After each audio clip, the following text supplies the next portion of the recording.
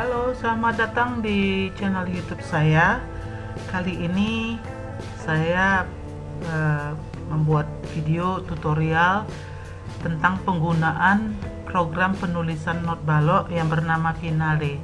Uh, program ini sangat dibutuhkan bagi mereka yang uh, suka menulis lagu pakai pakai not balok yaitu not-not yang bukan not angka dan ini sangat membantu daripada menulis langsung dengan tangan. Ini sangat membantu dan sangat lengkap di dalamnya. Nah saya sudah lama memakai ini. Saya memakai Finale 2011 ada beberapa versi. Saya menggunakan Finale 2011 yang pertama dan utama yakinkan kalau di PC atau di laptop Anda sudah memiliki program Finale 2011 atau 2011 terserah versi mana yang mau dipakai tapi tentu setiap versi beda-beda uh, ininya pasti ada bedanya. Baik kita buka dulu kita klik finale 2011 dan kita lihat tampilannya berikut ini.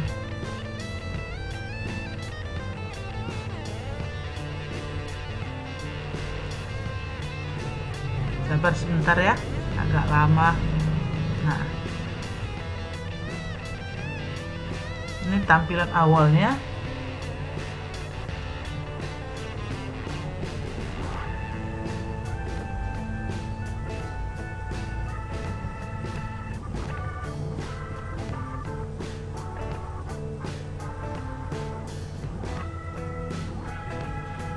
Nah ini dia. Ini boleh kita close aja. Dan kita langsung ke file kita klik file dan lihat new.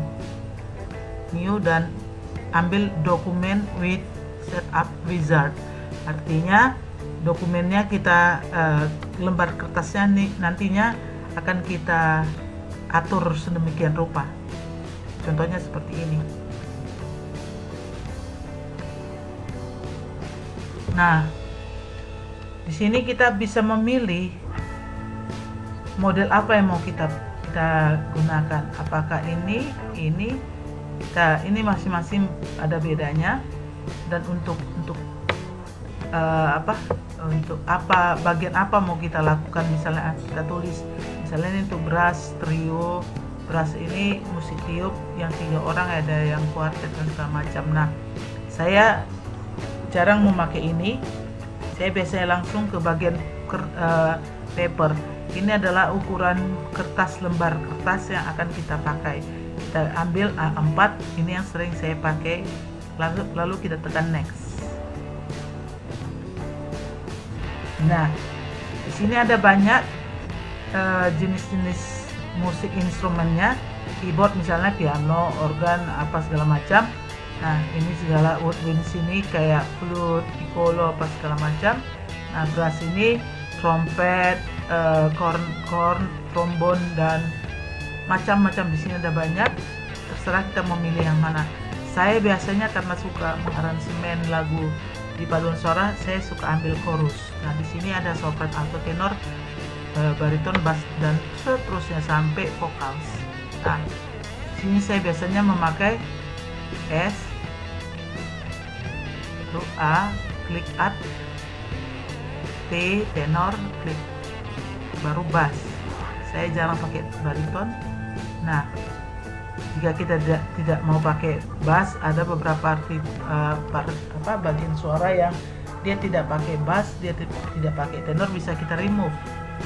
Tekan aja remove baru uh, tapi karena saya biasanya pakai ESATB saya bikin bass nah ini bisa kita tidak pindahkan. Namun format yang betul adalah SATB seperti ini. Setelah itu kita klik next. Nah di sini kita tampilkan judul. Uh, baru kalau ada subtitlenya lalu nama komposer, arranger, lyrics dan copyright. Ini inisiatif nama inisian nama kita. Saya biasanya pakai uh, ini. Jadi copyrightnya adalah sah milik kita. Nah ini semua bisa diisi nanti tapi tidak apa-apa. Kita coba di uh, apa nih lagu cicak-cicak nah ini bisa kita uh, apa kita atur lagi nanti. Katakan next. Nah kita di tiba pada score setting. Artinya kalau di dalam pekerjaan not balok dia ada namanya uh, birama tanda birama dan segala macam. Nah ini kita lihat lagu cicak-cicak 4 per 4 memang. Nah ini sekarang dari mana kita ambil uh, nada dasarnya? C B eh, B flat F ya. Dia turun B flat dan seterusnya. Atau justru naik kalau naik rananya yang ke atas ini terus ya jadi seperti ini ya. Nah kita ambil C, C mayor aja. Kalau kalau misalnya lagu kita minor ini bisa kita tekan kita ganti ya. C mayor tadi jadi A minor dia. Tapi kita ambil mayor aja. Nah sini ada number of measures. Artinya berapa jumlah nada ta, uh, na, apa ruang birama yang digunakan. Ini pun bisa nanti kita edit kalau misalnya kelebihan atau ke kelebihan kita bisa uh, remove. Kalau dia kekurangan kita bisa add uh, tanda uh, apanya biramanya lebih lebih banyak lagi. Nah di sini ada spe specify initial tempo marking. Ya ini ini uh, tempo ya, atau yang berhubungan dengan tempo. Misalnya seperti moderato kita bisa ketik dan berapa tempo yang kita inginkan. Misalnya eh, uh, 80 nah ini uh, tapi jangan lupa diklik ini. Kalau kita tidak mau pakai ya kita tidak usah klik ya. Biarkan kosong. Nah tapi sebaiknya kita klik. Nah ini specify pickup measure. Eh, kadang-kadang uh, ada lagu di note di note uh, di note terakhir di bar pertama dia di, di, dimainkan atau atau dibunyikan maka ini harus kita tekan. Biar dia nanti di lembar kerja memberi tempat untuk ini. Nah misalnya terserah kita mulai dari not e, ketukan keberapa dua kah satu kah. Kita karena berhubung lagu cicak-cicak ini tidak ada pickup measure-nya kita tidak usah tekan ini. Biarkan kosong. Baru kita tekan finish dan sebentar voila kita udah tiba di lembar kerja kita. Nah ini. Ini karena kita tadi tidak isi jadi dia seperti ini tapi ini bisa di remove. Disorot aja dia baru tekan delete udah nah ini bisa kita atur atur lagi sedemikian rupa. Nah cara memasukkan notnya kita klik not not uh, ketukan berapa berapa harga berapa yang yang yang harus kita masukkan? Misalnya cicak-cicak not satu ketuk. Kita masukkan aja.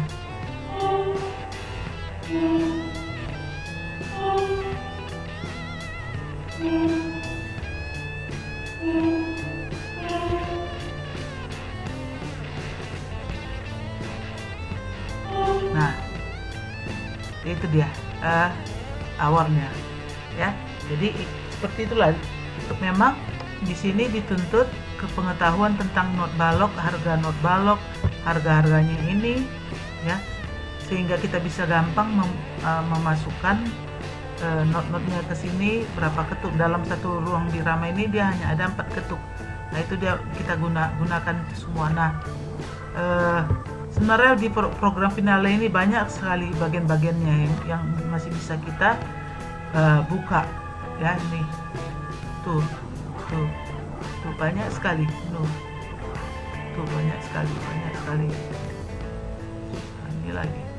Nah ini. Nah ini lagi yang di atas ini semua.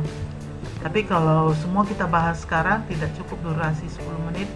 Jadi nanti di video berikutnya akan saya coba buka satu-satu uh, yang yang yang perlu-perlu.